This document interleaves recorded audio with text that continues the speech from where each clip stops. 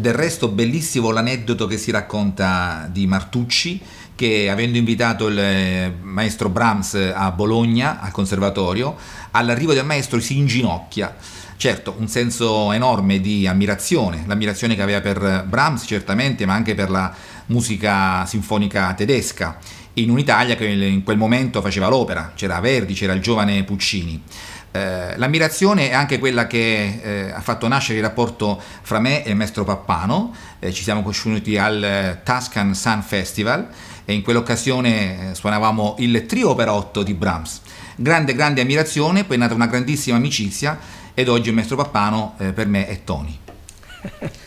Luigi, grazie. Sì, questo rapporto si è costruito anche un altro modo. Sei il primo violoncellista dell'orchestra dell'Accademia Nazionale di Santa Cecilia e ci troviamo spesso insieme ehm, facendo musica, però il fatto che siamo stati in giro, in tournée quasi, per anni suonando le, eh, le sonate di Brahms eh, per tutta l'Italia, questo è stato per me un'esperienza mer- meravigliosa eh, per fare musica con te e di approfondire um, il lavoro su quest- queste musiche che sono sì belle, però anche complesse, vengono vissuti.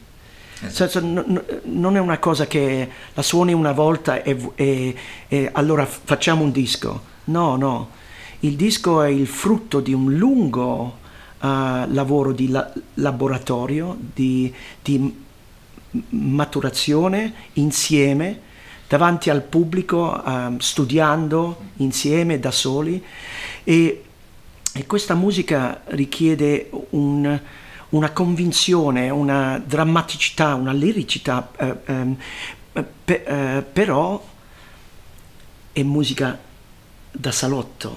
Musica da salotto, il salotto dove ci siamo ritrovati per eh, compiere il disco nel nostro viaggio eh, italiano ci siamo fermati in Toscana, nella meraviglia della Val d'Orcia, dove un nostro eh, amico comune ha messo a disposizione la sua bellissima villa con un meraviglioso salotto, la musica da camera di Brahms e di Martucci è musica da salotto.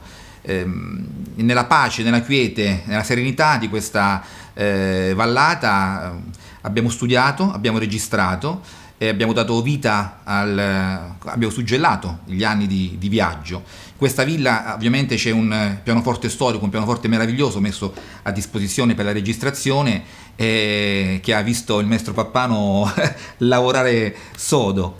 Sì, io eh, ero affascinato da questo pianoforte, un Steinway eh, del 1878 un pianoforte molto particolare, con, con un grandissimo suono, in particolare nei, nei, bassi, però con dei pianissimi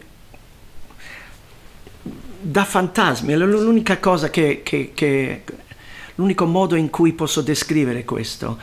Però, cioè, l'aspetto coloristico era talmente ricco per me, allora una, era una gioia, malgrado il fatto che questo eh, pianoforte, essendo un mostro quasi molto grande e da padroneggiare eh, questo strumento e, e, e, e, di farlo veramente suonare come volevo io, ho dovuto veramente lavorare molto.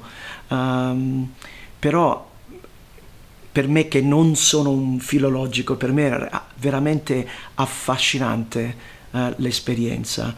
Musica da salotto fatto in un salotto.